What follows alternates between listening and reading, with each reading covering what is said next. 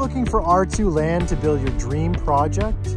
Well, we have R2 land for sale in Central Dieppe on Chartersville Road.